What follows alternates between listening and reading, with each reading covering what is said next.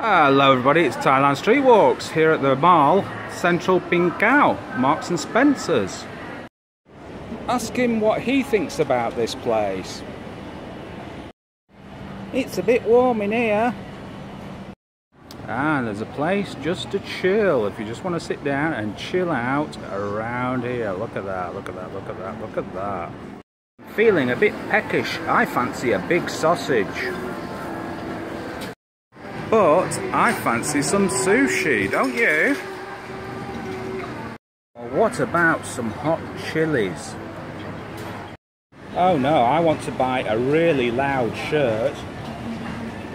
You'll seriously have to buy something for your bird. Yeah, maybe I'll buy her a potato.